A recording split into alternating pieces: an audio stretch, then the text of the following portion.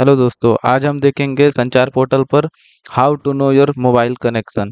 क्योंकि जो भी आप मोबाइल कनेक्शन लिए, लेते हैं अपने आधार कार्ड पर तो आपको पता नहीं होता आपके आधार कार्ड पे कितना कनेक्शन है या आपके नाम पे कितने कनेक्शन है। तो ये जो टैपकॉप है, इस पर आप जा करके अपने नेम पे देख सकते हैं कि आपने कितने कनेक्शन ले रखे हैं। तो आइए हम देखते हैं।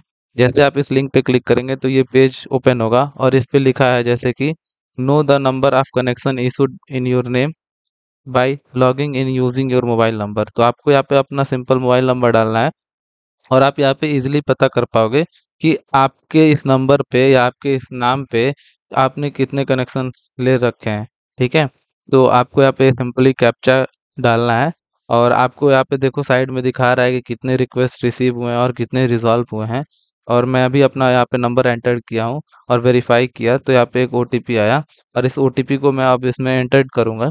जैसे ही मैं अपना ओ टी एंटर करूँगा, फिर देखेंगे कि एक स्क्रीन ओपन होगा जिसपे हमारे सारे कनेक्शंस शो कर देंगे। ये बहुत काम की चीज़ है, क्योंकि हम जो भी आधार कार्ड देते हैं तो उस पर फ्रॉड करके बहुत से कनेक्शन ओपन कर दिए जाते हैं, जिनके बारे में हमें पता नहीं होता।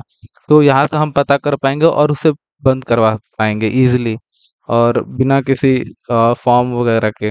तो सिंपली देखिए यहाँ पे मेरे पाँच कनेक्शन दिखा रहे हैं जिसमें से मेरे सिर्फ़ दो कनेक्शन है।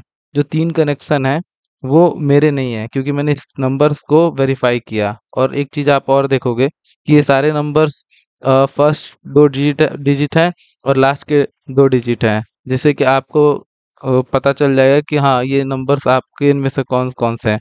तो जो भी आपके नंबर नहीं है, आप यहाँ पे सिंपली रिपोर्ट कर सकते हो और बंद करा सकते हो।